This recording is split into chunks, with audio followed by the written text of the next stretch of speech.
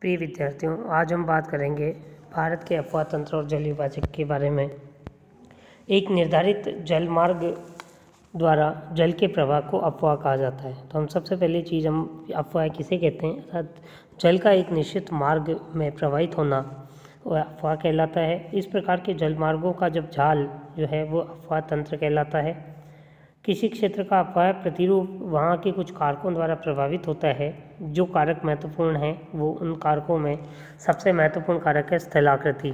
अर्थात किसी स्थान की स्थलाकृति किसी स्थान के अफवाह प्रतिरूप के निर्धारण में महत्वपूर्ण भूमिका अदा करती है। स्थलाकृति से तात्पर्य वहाँ मैदानी भाग है पर्वत है पठार है या आ, कोई समीप्रति क्षेत्र में झील युक्त क्षेत्र है। ये सभी जो कारक हैं, वो स्थलाकृति के अंतर्गत अर्थात वहाँ की भूगर्भ, भौतिक स्थिति जो है, उस पर आधारित होते हैं। दूसरा जो महत्वपूर्ण कारक है, वो चट्टान का स्वरूप और संरचना है, जिसको हम सामान्य से भूगर्भिक संरचना कहते हैं। उसमें वह अफवाह प्रतिरूप को प्रभावित करता है। किसी स्थान की चट्टाने कठोर है तो अपर्दन कम मात्रा में होगा।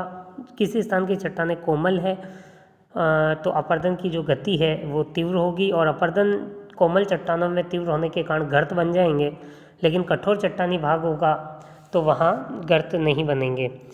किसी स्थान पर कठोर चट्टानों के बाद एकाएक कोमल चट्टाने आ जाएगी और ढाल की अगर तीव्र मात्रा होगी तो वहाँ एक प्रपात जैसी संरचना बन जाएगी। तो किसी स्थान का चट्टान का स्वरूप और संरचना कैसी है, वह निर्भर करता है किसी स्थान के अफवाह प्रतिरूप के निर्धारण में। उसी से उस अफवाह तंत्र में जल के बहने की गति, जल की दिशा, सभी तथ्य निर्धारित होते हैं। विवर्तनिक क्रियाओं के में अंतर्गत भूकंप और ज्वालामुखी जैसे कारक महत्वपूर्ण रूप से आते हैं। अचानक किसी स्थान पर भूगर्भिक गतिविधियाँ होती है और भूकंप या ज्वालामुखी जैसी स्थिति आने पर पूर्व जो भूगर्भिक संरचना और स्थलाकृति है, वो छिन्न भिन्न हो जाती है। ऐसी स्थिति में जो नया घटनाक्रम हुआ विवर्तनी घटना के रूप में, उसके कारण भविष्य में उस पर एक नया प्रतिरूप का जन्म हो जाता है और पुराना प्रतिरूप खंडित हो जाता है। अफवाह क्षेत्र का भूगर्भिक इतिहास कैसा है? वो हम बात की, चट्टाने कितने वर्षों पुरानी है? कोमल है, कोमल कठोर है, उसके साथ साथ वो कितने वर्षों पुरानी है? पुरानी चट्टाने भी अपर्दन के बाद एक स्थान से दूसरे स्थान पर जाने में उनमें अलग अलग कंपोजिशन हो जाते हैं। तो भूगर्भिक इतिहास भी महत्वपूर्ण भूमिका अदा करता है। प्रवाहित जल की मात्रा कितनी है? अगर मान लो भयंकर वर्षा वाले क्षेत्रों में है तो प्रवाहित जल की मात्रा अधिक होगी। जहाँ प्रवाहित जल की मात्रा अधिक होगी, उस स्थान पर अपर्दन की मात्रा भी अधिक होगी। वहाँ जल के बहने की जो एक मार्ग है, वो भी बड़ा होगा। जल की मात्रा अधिक होगी। दूसरी स्थान पर जहाँ वर्षा ही कम होती है, वहाँ जल की मात्रा कम होगी और जल की मात्रा कम होगी तो नदियों का जो चौड़ाई है, विस्तार है, वो भी कम होगा। और प्रवाह के समय के अनुसार उसमें घटत या बढ़त कितनी होती है? वर्षा ऋतु में जल का लेवल अधिक हो जाएगा, लेकिन शीतकाल और ग्रीष्मकाल जल का लेवल धीरे धीरे कम हो जाएगा। तो ये सभी जो कारक हैं, वो किसी स्थान के अफवाह प्रतिरूप को प्रभावित करते हैं? हम बात करते हैं अफवाह प्रतिरूप किस प्रकार के होते हैं। तो अब देखिए, अफवाह प्रतिरूप भी अलग अलग प्रकार के होते हैं। विभिन्न जो प्रतिरूप हैं, उन प्रतिरूपों में महत्वपूर्ण है एक ध्रुमाकृतिक प्रतिरूप, जिसको हम वृक्षाकार प्रतिरूप भी कहते हैं। दूसरा है जालीनुमा प्रतिरूप। जालीनुमा प्रतिरूप, अभिकेंद्रीय प्रतिरूप, गुम्बदाकृति प्रतिरूप, ये विभिन्न जो महत्वपूर्ण प्रतिरूप हैं। तो हम सबसे पहले बात करते हैं, जब अफवाह की आकृति वृक्ष के समान हो जाती है तो वह अफवाह के प्रतिरूप को हम ध्रुमाकृतिक प्रतिरूप कहते हैं। इसका तात्पर्य है कि जैसे एक नदी है, अन्य सहायक नदियाँ हैं, ये अलग अलग प्रकार की इसमें से नदियाँ आकर मिलती है। और वह प्रतिरूप जो है, वह प्रतिरूप हो जाएगा ध्रुमाकृतिक प्रतिरूप। तो इस तरह का जो प्रतिरूप उत्पन्न होगा, यह प्रतिरूप कहलाएगा ध्रुमाकृतिक प्रतिरूप।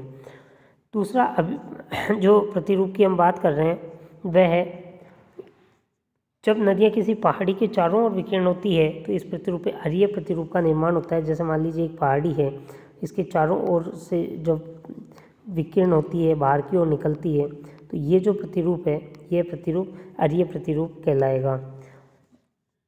तीसरा, अभिकेंद्रीय प्रतिरूप में नदियाँ किसी गर्त या झील में गिरती है तो अगर जैसे कोई प्रतिरूप की बात करें, ये एक झील है, और इस झील में जब कोई नदी आकर गिरती है तो ये जो प्रतिरूप हुआ, यह प्रतिरूप हो गया हमारा अभिकेंद्रीय प्रतिरूप अर्थात सारी की सारी नदियाँ अलग अलग दिशाओं से इस झील वाले क्षेत्र में आकर मिलती है। जालीना नुमा जो प्रतिरूप होता है, उसमें सहायक नदियाँ एक दूसरे के समानांतर बहती है तथा गौण सहायक नदियों के दोनों ओर आकर मिल जाती है। तो जो जालीनुमा अफवाह प्रतिरूप है, उसमें एक जाल बन जाता है, इस तरीके से दोनों तरफ़ से नदियाँ आकर मिलती है और जालीनुमा अफवाह प्रतिरूप का निर्माण होता जाता है। इन सहायक नदियों में भी सहायक नदियाँ एक क्रम के रूप में आकर मिलती है। तो ये जो प्रतिरूप है, ये प्रतिरूप हमें कहलाता है जालीनुमा प्रतिरूप। एक जाल के आकार में इनका निर्माण हो जाता है। भारतीय अफवाह के प्रतिरूपों का अध्ययन बड़ा रोचक है। विशाल मैदान में जो अफवाह प्रतिरूप पाया जाता है, वो सामान्य रूप से ध्रुमाकृति के वृक्षाकार प्रतिरूप पाया जाता है, जबकि हिमालय पर्वतमाला के प्रसिद्ध पूर्वी पहाड़ियों में जो अफवाह का प्रतिरूप है, वो झालीनुमा पाया जाता है। प्रायद्वीपीय जो नदियाँ हैं, वो आयताकार प्रतिरूप का निर्माण करती है। थार मरुस्थल में सामान्य रूप से अभिकेंद्रित प्रवाह का प्रतिरूप मिलता है। तो हम अगर भूगर्भिक संरचना या भौतिक प्रदेशों के आधार पर बात करें तो आप देखिए स्पष्ट हमने महत्वपूर्ण अफवाह प्रतिरूपों की बात करी। वृक्षाकार प्रतिरूप, विशाल मैदान, हिमालय पूर्वांचल में जहाँ वर्षा तीव्रतम अधिकतम होती है। वहाँ जालीनुमा प्रतिरूप मिलता है। प्रायद्वीपीय नदियाँ जो है, प्रायद्वीपीय पठारी भाग में वो आयताकार प्रतिरूप बनाती है। थार के मरुस्थल में अभी केंद्रीय अफवाह प्रतिरूप मिलता है। अगर हम आगे बात करते हैं अफवाह तंत्र के प्रकार। अफवाह तंत्र के प्रकार में सबसे पहला प्रकार आता है अनुगामी अफवाह। अनुगामी अफवाह दक्षिणी भारत का जो अफवाह तंत्र है वो मुख्य रूप से इसी प्रकार का है। यहाँ की जो अधिकांश नदियाँ वो पश्चिमी घाट से निकलकर पूर्व की ओर बहती है। तो जो हमारा महत्वपूर्ण का भाग है, उसमें अगर आप देखेंगे तो आप देखिए कि अधिकांश नदियाँ जो है, इस प्रायद्वीपीय पठारी भाग में, जो दक्षिणी भारत का प्रभाव प्रतिरूप है, ये सह्याद्री पर्वतमालाएँ जल विभाजक का काम करती है। अधिकांश नदियाँ इस ओर से निकलकर पूर्व की ओर बहती है और बंगाल की खाड़ी में अपना जल प्रवाहित करती है। तो ये जो प्रवाह प्रतिरूप है वो अनुगामी हो गया। तथा नदियाँ पश्चिमी घाट से निकलती है और पूर्व की ओर बहती है। इनकी जो दिशा है वो पूर्व की ओर है। पेरियार पोन्नमी सारावती नदियाँ पश्चिमी घाट से निकलकर पश्चिम की ओर बहती हुई अरब सागर में कुछ नदियाँ ऐसी है जो छोटी नदियाँ हैं, वो पश्चिमी घाट से निकलकर अरब सागर में जाकर गिरती है। पेरियार नदी का जल कृत्रिम रूप से बहकर पूर्व की ओर वेगई में ले जाया जाता है। पश्चिमी तटीय मैदान सकरे हैं, अतः यहाँ नदियों की लंबाई भी कम है। नर्मदा और ताप्ती नदियों भ्रंशों का आविर्भाव हिमालय पर्वत निर्माण काली हलचल के समय हुआ था। इन भ्रंशों में नदियाँ पूर्व से पश्चिम की ओर बहकर अरब सागर की ओर अपना जल प्रवाहित करती है। तो अनुगामी जो अपवाह प्रतिरूप है, वह ढाल का अनुसरण करता है। दूसरा प्रवाह प्रतिरूप है अनुवृत्ति। अफवाह प्रतिरूप अनुवृत्ति में दक्षिणी प्रायद्वीप के उत्तरी भाग का ढाल उत्तर की ओर है। इसलिए विंध्याचल और सतपुड़ा पर्वत से निकलने वाली नदियाँ उत्तर की ओर बहती हुई यमुना व गंगा में मिलती हैं। तो ये जो प्रवाह क्रम है, इसमें उत्तर का जो भाग है, वो उत्तर की ओर होने से ये नदियों का प्रवाह क्रम भी ढाल का अनुसरण करते हुए उत्तर की ओर है। इसलिए ये जो प्रवाह प्रतिरूप कहलाता है, वो अनुवृत्ति प्रवाह प्रतिरूप। इसमें चंबल, केन, सिंध, बेतवा, सोन आदि महत्वपूर्ण नदियाँ हैं। ये नदियाँ अनुवृत्ति अफवाह बनाती है। मध्य जीव कल्प में इन प्रदेश की नदियाँ तैती सागर में बहुत सा अवसाद बहाकर जमा कर देती थी। बाद में उत्तर भारत का निर्माण होने पर इस प्रदेश की नदियों ने गंगा नदी के क्रम में संपर्क स्थापित कर लिया था। एक महत्वपूर्ण तीसरा प्रकार है अध्यारोपित अफवाह कुछ भूवैज्ञानिक मानते हैं कि दामोदर स्वर्णरेखा चंबल बनास नदियाँ अध्यारोपित जल अफवाह प्रतिरूप का निर्माण करती है, अर्थात इनका जो भाग है, वह किसी अन्य चट्टानी संरचना पर अध्यारोपित हो गया समय के साथ साथ आयताकार अफवाह प्रतिरूप इंडियन शैलों के क्षेत्र में हमें मिलता है। जालीदार अफवाह प्रतिरूप पूर्व सिंहभूम के पुराने वलित पर्वतों में हमें जालीदार अफवाह प्रतिरूप भी दिखाई देता है। अरिय प्रतिरूप अमरकंटक से निकलने वाली जो नर्मदा, सोन और महानदी है, ये अरिय प्रतिरूप का सर्वश्रेष्ठ उदाहरण प्रस्तुत करती है। वृक्षनुमा प्रतिरूप दक्षिणी भारत की अधिकांश नदियाँ इसी प्रकार का वृक्षनुमा प्रतिरूप बनाती है। समानांतर अफवाह जो है, पश्चिमी घाट में पश्चिम की नदियाँ जो लगभग समानांतर बहती है। पश्चिमी घाट से निकलकर अरब सागर में जो नदियाँ गिरती है, वो कम दूरी की होती है। और वह समानांतर अफवाह क्रम का निर्माण करती है। अब हम बात करते हैं जल विभाजक की। ठीक है जल विभाजक रेखाओं द्वारा ही अपवा तंत्र का सीमांकन होता है। वास्तव में जल विभाजक धरातल पर स्थित ऊँची स्थलाकृतियाँ होती है, जो कि पर्वत श्रेणियों के रूप में होती है। यह नदियों के अफवाह को निर्धारित करने के साथ साथ उनके प्रादेशिक सीमांकन में भी एक महत्वपूर्ण भूमिका अदा करती है। भारत के अफवाह तंत्र के विकास में चार प्रमुख जल का योगदान है।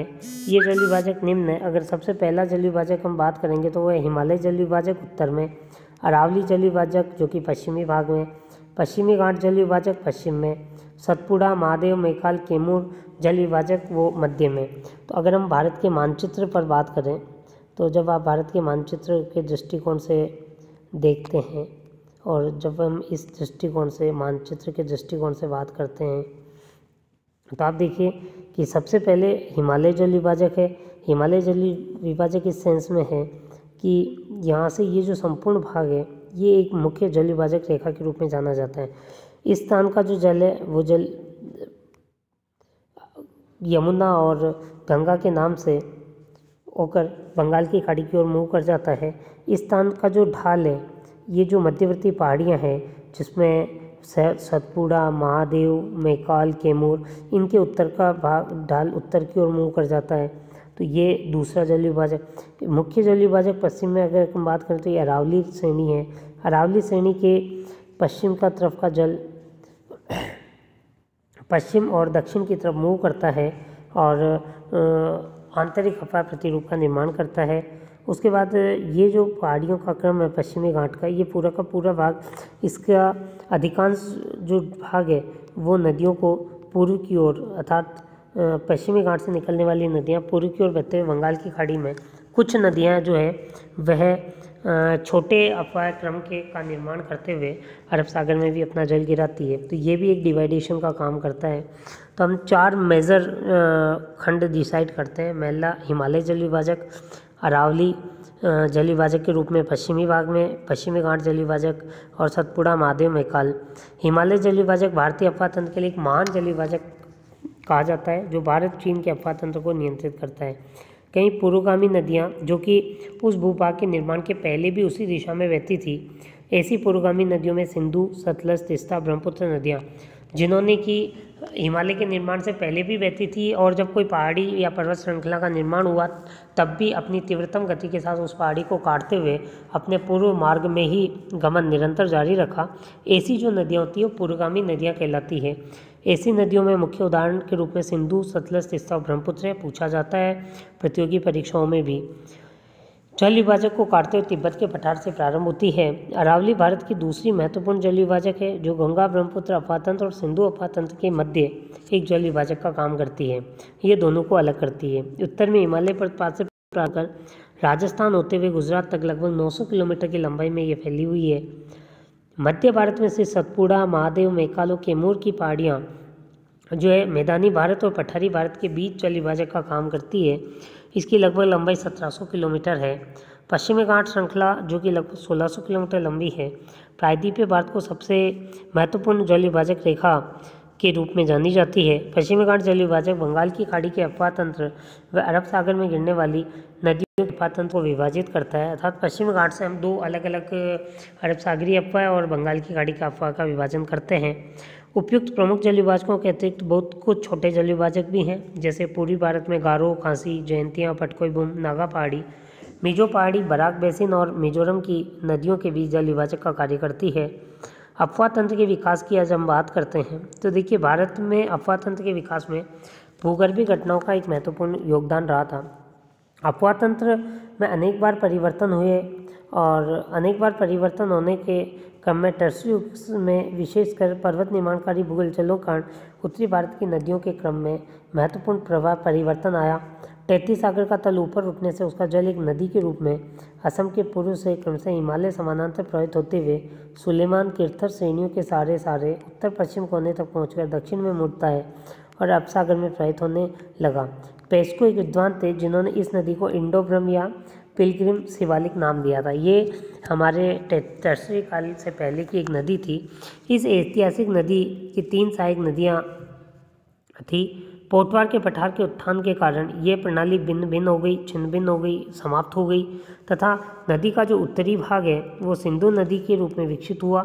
मुख्य धारा का शेष भाग विपरीत दिशा में वर्तमान गंगा नदी के रूप में प्रवाहित होकर बंगाल की खाड़ी में गिरने लगा। कालांतर में गंगा व उसकी सहायक नदियों के प्रवाह मार्ग में अनेक बार परिवर्तन हो गए। भूवैज्ञानिकों का मानना है कि ऐतिहासिक रूप में सतलज जो है, यमुना राजस्थान में होकर बहती थी, लेकिन हिंदुओं की पुरानी मान्यता जिसे हम सरस्वती नदी जो कि अब लुप्त हो गई है, मानते हैं कि गगर घाटी में प्रवाहित होती थी। ईसा काल के प्रारंभ में सतलज नदी सिंधु क्रम से पृथक होकर एक स्वतंत्र नदी के रूप में प्रवाहित होती थी। इन सभी मान्यताओं और सभी तथ्यों के आधार पर जो हम मानते हैं कि भारत में समय के साथ साथ अफवाह तंत्र का विकास होता गया, विभिन्न प्रकार के क्रम बने, बिगड़े और पुनः नए क्रमों का निर्माण हुआ। लगभग 200 वर्ष पूर्व गंगा व ब्रह्मपुत्र नदियाँ 240 किलोमीटर की दूरी पर बहती थी। बाद में ब्रह्मपुत्र नदी मधुपुर के पूर्व में मेघना में मिल गई और लगभग 110 वर्ष पूर्व किसी भूगर्भिक हलचल के फलस्वरूप ब्रह्मपुत्र नदी अब मधुपुर वनों के पश्चिम में प्रवाहित होने लगी। गंगा की सहायक सोन गागरा दामोदर, कोसी आदि नदियों के मार्ग में भी अनेक बार हमें परिवर्तन दिखाई देते हैं। तो पेस्को महोदय के अनुसार, प्राचीन ऐतिहासिक काल में एक अन्य नदी जो पूर्व से पश्चिम की ओर प्रवाहित होती थी, यह तिब्बत की नदी, सांपू, व सिंधु नदी की घाटियों में होकर उत्तर पश्चिम की ओर ऑक्सस झील में मुआना बनाती थी। कालांतर में अटक नदी द्वारा इसका अपहरण होने पर तिब्बत की नदी दक्षिण दिशा में प्रवाहित होने लगी। डी टेरा के अनुसार हिमयुग से पूर्व काराकोरम व लद्दाख प्रदेश की नदियों का प्रवाह दक्षिण पूर्व पूर्व की ओर रहा होगा। सांपू घाटी में प्रवाहित होने वाली उस ऐतिहासिक नदी का अपहरण ब्रह्मपुत्र के सहायक दिहांग द्वारा किया गया होगा। ऐसा विद्वानों का मान्यता है, विद्वान मानते हैं। लेकिन हम सामान्य रूप से जब बात करते हैं, इस अध्याय का सम संक्षिप्त के रूप में। तो हमें आपको ये मानना पड़ेगा कि किसी स्थान की स्थलाकृति भूगर्भिक संरचना, वहाँ की चट्टानों का की कठोरता और कोमलता का स्तर विभिन्न समय में होने वाली विभिन्न प्रकार की जो भूगर्भिक घटनाएँ हैं, उनका प्रभाव नदियों के प्रवाह मार्ग पर पड़ता है। उससे सीधा सीधा असर नदियों के अफवाह तंत्र और नदियों की प्रवाह दिशा पर पड़ता है। इसी आधार पर जो नव उत्थान होते हैं, वो जल विभाजक के रूप में ऊँची पर्वत श्रेणियाँ बन जाती है और जल का प्रवाह उन जल विभाजकों से दो विपरीत दिशाओं में होने लगता है। इस प्रकार धीरे धीरे आगे कालांतर में नदियों का क्रम बनता है, बिगड़ता है और पुनः नई भूगर्भीय घटनाओं के द्वारा उनका क्रम मॉडिफाई होता रहता है। आज की वीडियो में इतना। नेक्स्ट वीडियो में हम सिंधु नदी क्रम के बारे में चर्चा प्रारंभ करेंगे। धन्यवाद।